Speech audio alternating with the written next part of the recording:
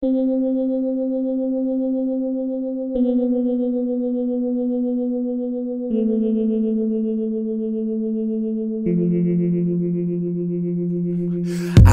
picked up the phone and dialed your house, and no one was home, or so I thought. Before the final ring, when he picked up before the voice machine, and I was taken aback.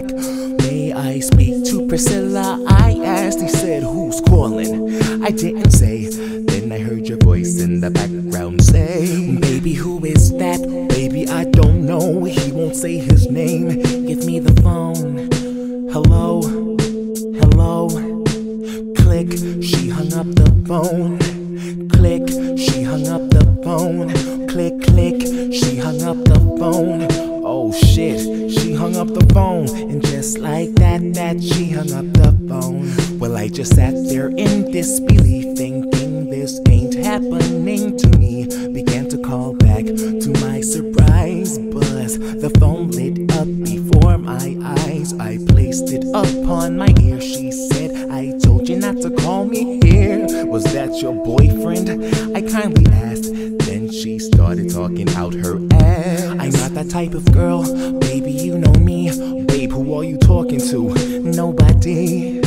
Hello, hello.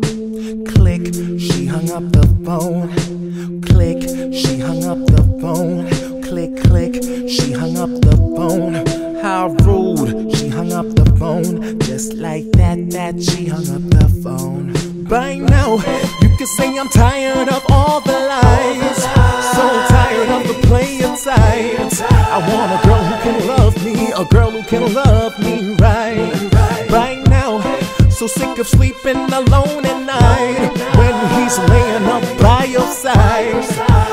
Wouldn't it be lovely? Wouldn't it be lovely if I